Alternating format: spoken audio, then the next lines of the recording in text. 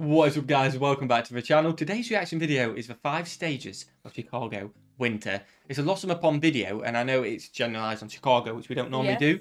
Apparently this video's sick. Okay. A lot of comments have said it's a masterpiece, it's great, and it, it reminds me of, we did that one, didn't we? Where it was kind of more cinematic, it wasn't his joking self. Yes. Yeah, yeah, yeah. Like I like those once in a while. Yeah, definitely. So it was part of that. I It should be really good. less though from Very true. It is Lost pond. Go and check him out. His links in the description. Um, but I'm excited for this. Are you I'm excited? Yeah, this looks sick though. That is a nice background. Yeah, let's get into it. Lost in the Pond, the five stages of a Chicago winter. Let's go.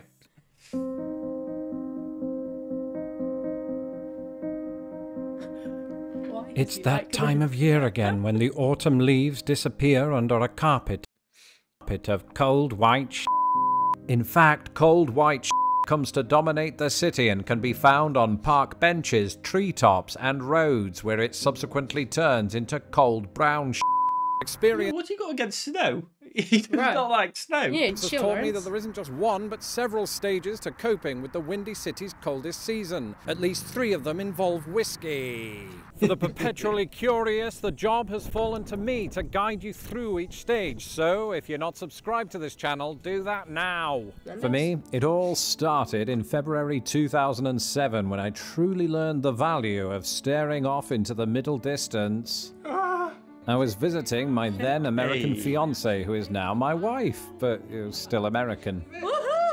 Woohoo! One night, I found myself whispering sweet nothings into her ear, such as, Hi. or, So, personal question. In your infinite wisdom, how far is the Sears Tower from this, the bountiful kingdom of Indiana? About 200 miles. Also, how is that a personal question?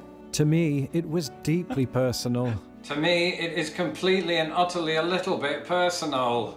For as long as I could remember, I'd harbored a fascination with the Sears Tower bordering on sizable. In the early 1990s, my dad had taught me it was the tallest building in the world. Now that I lived one state away, I had to see it for myself. I Okay. could barely contain my excitement until somebody switched on the weather. The Chicagoland area will see wind gusts of up to 22 miles per hour with wind chill right around minus 2 degrees Fahrenheit or minus 19 Celsius if you're watching this report from the UK for some absolutely bizarre reason. Finally, I Finally, just want to say as well, we're recording this on the 24th, so Christmas Eve. There has been reports, because he's talking minus two wind chill mm. of minus 30 Yeah. Fahrenheit wind chill, which is absolutely insane. So I hope all you legends are safe mm-hmm. and sound, um, because that's horrible, isn't it? Yeah, it is. It just reminded me, and yeah, hopefully all you legends are safe, because And warm. and warm. That is the main thing, especially for Christmas. We hope you had a fantastic Christmas as well. Yeah. But hopefully you stayed safe. Hopefully, didn't warm. ruin any of your plans. Fingers crossed. Expect to see up to 2 feet of cold That white sh- accent. in the early hmm. afternoon. Despite my initial concerns, we arrived at my wife's consensus and went to Chicago that very day. I saw the Sears Tower, marveled at its general height, and lost the will to live after about 30 minutes. Being absolutely broke, we opted not to go inside, which is a pity because I'd forgotten to bring my gloves. And earmuffs. And a proper winter jacket. Being a stubborn 25 year old, I quickly reasoned that it wasn't my fault, that blame lay squarely at the feet of the unrelenting tundra that is Chicago. I vowed that very day to never catch myself living in the Windy City, a promise I kept for almost 10 years. But now that I'm living in Chicago, I've learned two very important things. One, it pays to wear the right clothes. And two, living in Chicago and visiting are two very different things. Researchers believe that human beings remain the only species in the observable universe to periodically alter their clocks. And I know what you're thinking. Ooh, Lawrence, the clocks went back in autumn, not winter, so this doesn't gel with the rest of the video. I'm quite aware of that, thank you, but the effect that it has on daylight is felt most keenly in the winter, so shut it. And of course, such clock tinkering is not exclusive to Illinois. The end of daylight saving time affects all states that don't rhyme with Hawaii or Arizona. However, it doesn't affect all places equally. On December 21st, the shortest day of the year, Chicago goes dark at 4:23 p.m. In Indianapolis, where I used to live, 5:23 That's a big p.m. And this isn't just down to the time difference between the two cities or the fact that one is more southerly than the other. It's also impacted by where they sit along those time zones. Indianapolis is at the extreme west of the eastern time zone and therefore gets darker almost an hour later than cities on the east coast. Chicago, meanwhile, is at the extreme east of the central time zone, meaning that it gets darker almost an hour earlier than central Nebraska. But I know it's only an hour, but it makes a difference. It does make a difference, yeah. It's so much, especially if you work it. I think if you're working and you leave working, if you get That's to work what in the I dark, find hard in the winter. Yeah. You arrive dark, you leave dark. Leave it's dark. like you don't experience daylight. no, you literally just sat in an office. You get your lunchtime, and that is it, and you- you're limited to that hour or whatever But you it get. still doesn't feel like you've seen the day. Literally, It's um, weird. So if you've got that hour where even if it's half an hour of daylight, that must make a difference. That's why I like. That's as we go into the summer months. That's why I like it because it feels like the day, even though the day is not longer, yeah. Well, it's, it's sometimes it feels like you're you're gaining hours. definitely. It definitely is longer though because sunrise is earlier and it sets later. It's definitely a longer day. Yeah, but I still wake up at the same time. Oh yes, wake up at the same so time, do it. like my but, day is still the same length. but the daylight's longer. Nah, Yeah. I know what you mean. And I can do golfing after work. It's only well. twenty four hours in the day. Wait, what? How many? Twenty four. I, oh, I thought you said 25. Oh, No, everyone we play that, let's all said this is I definitely 24, didn't say 25. I was like, what? I'm, Um, I'm I'm dumb, but not that dumb. I thought I'd caught you out then. Yeah, but but- um, it makes a big difference in daylight, doesn't it? So I think you've got to go for the state which has the longer, longer days. Yeah.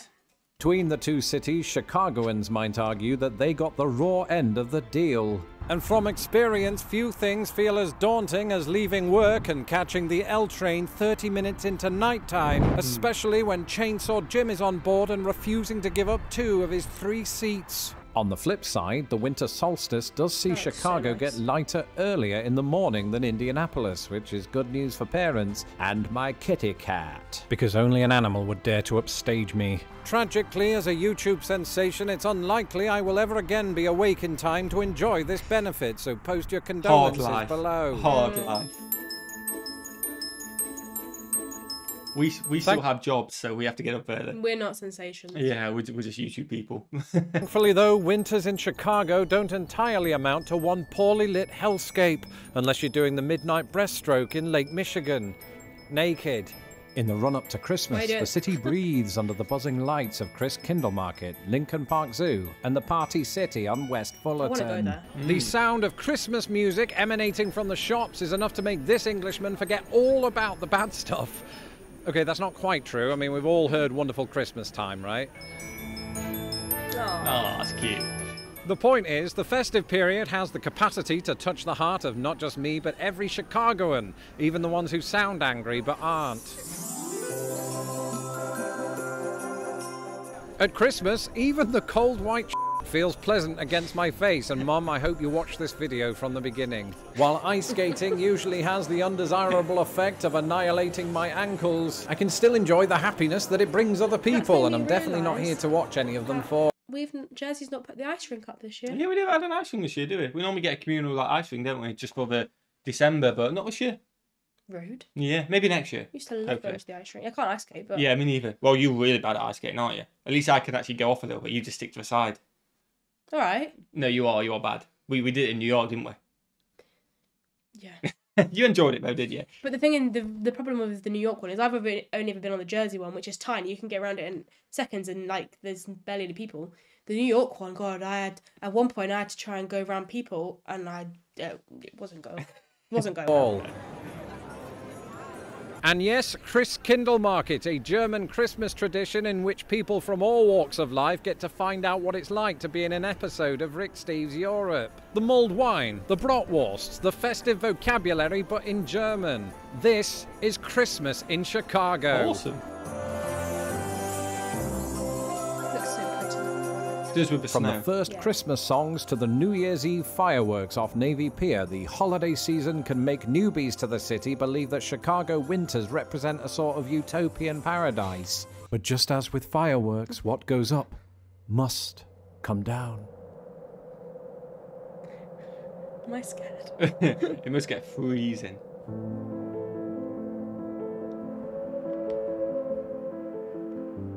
The American author Erik Larson once wrote, I must confess a shameful secret. I love Chicago best in the cold. And while that's easy to say when you have the world's most Scandinavian name, it ceases to be true in my case the minute I hang up my calendar. You have to remember, I grew up in the English town of Grimsby, where the average January temperature is around 38 degrees Fahrenheit. And as a child, I thought that was cold. Well, I gotta tell you, Larry, in the Chicagoland area that same month sees average temperatures 11 degrees colder than that. For my inexplicably high number of British viewers, Chicago's January average is close to minus 3 degrees Celsius, making it the city's coldest month. Yes. Thanks, Cody. January is to December what the fourth National Lampoon's film is to its predecessor, All Downhill After Christmas. Where once the city was vibrant, by January it descends into a desolate hellscape, moonlighting as the third largest city in America. Shops are not closed, but feel like they are. And the leaves, a thing of warm, fiery beauty in my October special, now implanted that. into the sidewalk like the Fall Out Boy tattoo that my that wife's cousin Chad claims to have on his arse. But just as that dramatic image remains mercifully hidden underneath the unlikely hero that is his camo pants, the sidewalks too become buried under eight inches of cold white. You don't like snow, does he? No, I love snow. It's, it's and it's against it. usually at that very moment that I hear music.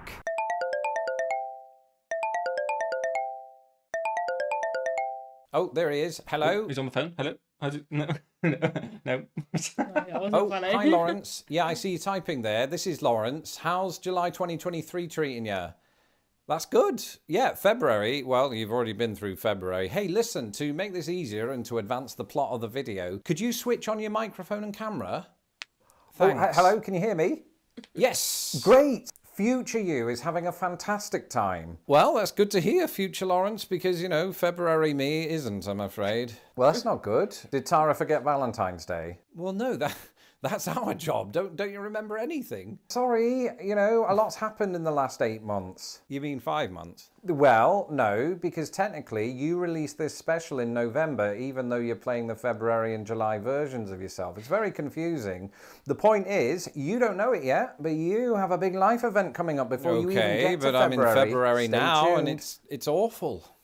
Okay, are you going to refresh my memory? I mean, it's Chicago, February, you know, when our seasonal affective disorder kicks in. Oh, that. Yeah, I mean, we always talk about it, you know, how we mentally assign colours to every month of the year. So, like, November is black with hints of yellow to signify earlier evenings and bonfires. Is it? And July is an intense orange to signify sizzling food and warm beaches. Yeah, all right. But ever since we moved to Chicago, do you remember which colour we assigned to February? Blue. Yeah, blue. A depressing shade of cerulean blue. Well, come on. I mean, at least cerulean has the distinction of being a perfect anagram of our name. So it does. Very good point. Very good point. But look, it's not even that it's? Chicago's coldest month. It just feels like it is. I mean, it's also the shortest month of the year, and yet somehow in this city it feels like the longest. You you expend all of that winter energy at Christmas. You push yourself through January, knowing you've at least devised a weight loss plan to keep you occupied, and then February hits, and you realise you've got to do it all over again, except the weight loss part. And I'm sitting here wondering, will it ever end? I mean, as somebody who's been through it, I can tell you this, right? It's just like all of the other years. February never ends until it does. And then you forget what the big fuss was all about. There you go. Well, I suppose you're right. So, what was this big life event then? Oh, don't worry about all of that. All will be revealed in an upcoming special. Look, for now, I've, I've got to go. The weather report says it's going to plummet down to 83 degrees in the afternoon. Give my love to your wife, our wife. Yeah, will do.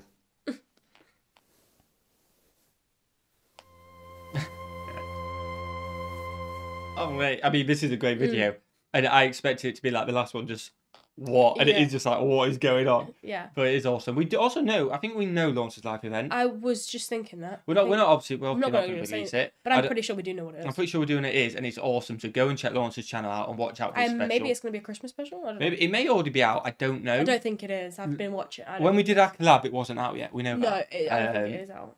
So go and check Lawrence's channel out because he does have a big event, a big announcement, hopefully soon, and um, it's an awesome one. So go and check his channel out. Links in description. So yeah, it's weird when we know how on a video. That's weird. It's so weird that we know something major in Lawrence's life. Yeah, and we just watching it. It's weird. But anyway, we're just teasing you as much as he is now. oh, I don't-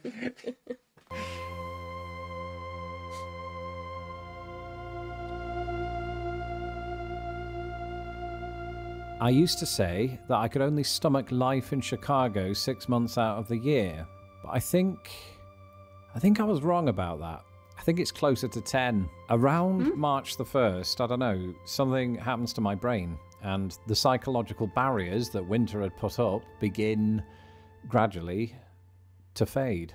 Instead of cerulean, I now see mostly brown That's with good. faint hints of green, as if I were looking at a restoration hardware or an English football pitch from the 80s. Average March temperatures in Chicago, Cody Dewpoint, are. Uh, let me see here. Uh, about 8 degrees warmer than in February.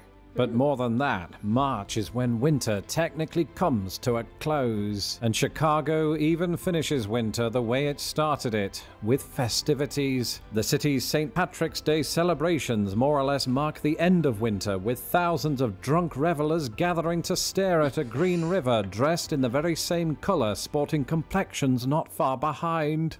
I might be that's awesome. exaggerating a bit. Mm-hmm. Come to think of it, that might be where those hints of green come from. It's certainly not from the leaves, which, much like me, don't show themselves until the middle of April. It's fair to say that America is a vast country. No two cities experience the pain of winter in quite the same way, except for Minneapolis and St. Paul, but only because they're twins. While the US is home to several regions with colder winters than Chicago, no single city in England can say the same, not even Narnia.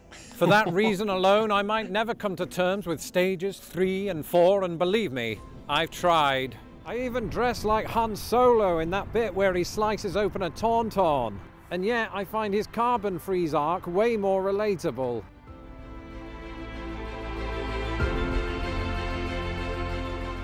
Thanks for watching this video and sharing it with all of your Chicago friends. Until the next video, goodbye. Awesome. I'm glad you had to see Yeah. Stuart. Is that Lawrence as well? Yeah, it's him. A very Stuart old school Lawrence. Awesome that he managed to see it. Um, and he's missing his earmuffs as well. Yeah, Awesome video. good video. I like that. that. Yeah. We're not going to visit Chicago in the winter. No. Definitely have that. We'll go summer. Yeah. Smash that like button, guys. Smash that subscribe button. What should? Have a fantastic day. And we'll see you legends in the next one. Peace.